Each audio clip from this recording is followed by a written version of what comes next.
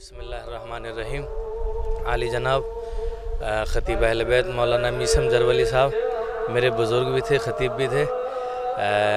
اس وقت میں مجھے جانا تھا دو چار دن پہلے نجف اشرف، لیکن میں صرف چالیسویں کی وجہ سے یہاں پہ رکا دہلی میں۔ جب سب سے پہلی مرتبہ دو ہزار چار میں، وہ دہلی میں تو اور میں دو ہزار چار تک لکھنؤ نہیں آیا تھا کبھی۔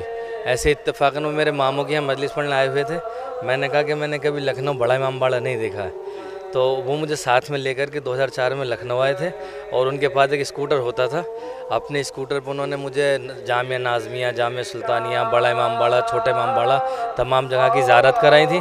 تو اب دیکھیں لیکن وقت ایسا ہوتا ہے کہ آج بڑے امام باڑہ مجھے یاد ہے، یہاں پر یہ اسٹیج لگا ہوا ہے ایک طرف۔ میں میں نے بھول بھلائیاں دیکھا پہلی بار آیا تھا میں لکھنؤ، اور وہ یہاں پہ بیٹھے رہے۔ اتنے خلیق انسان تھے اور ان کی خطابت کے اندر سب سے بڑی بات یہ تھی، کوئی غیر اختلافی گفتگو ہوتی تھی ان کی، کوئی اختلافی بات نہیں کرتے تھے۔